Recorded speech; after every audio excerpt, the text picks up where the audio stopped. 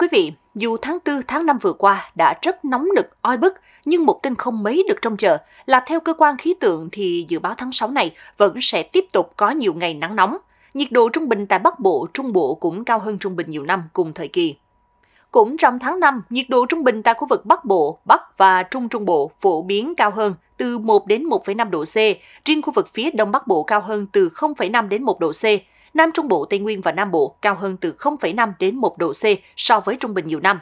Theo dự báo, trong tháng 6, nhiệt độ trung bình tại các khu vực trên toàn quốc phổ biến ở mức cao hơn từ 0,5 cho đến 1 độ C, có nơi cao hơn so với trung bình nhiều năm cùng thời kỳ.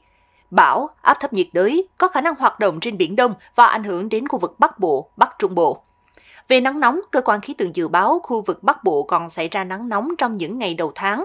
Sau đó, nắng nóng tạm thời suy giảm. Khoảng từ giữa tháng 6, nhiệt độ trung bình có xu hướng cao hơn trung bình nhiều năm, khoảng 0,5 đến 1 độ C. Nắng nóng gia tăng trở lại. Khu vực Tây Nguyên, Nam Bộ trong tháng 6 xuất hiện nhiều ngày mưa rào và dông. Khu vực Bắc Bộ, Bắc Trung Bộ, mưa có xu hướng tập trung vào giữa và cuối tháng. Tuy nhiên, tổng lượng mưa cả tháng vẫn có xu hướng thấp hơn trung bình nhiều năm.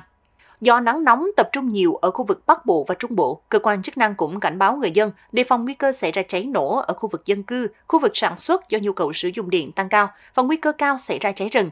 Ngoài ra, trên phạm vi toàn quốc tiếp tục xuất hiện các hiện tượng thời tiết nguy hiểm như dông, lốc, sét, mưa đá có thể ảnh hưởng lớn đến sản xuất và các hoạt động dân sinh. Báo Thanh niên sẽ tiếp tục cập nhật những thông tin liên quan cùng các tin tức mới nhất tại địa chỉ thanh niên.vn và kênh youtube Báo Thanh niên. Kính mời quý vị đón xem.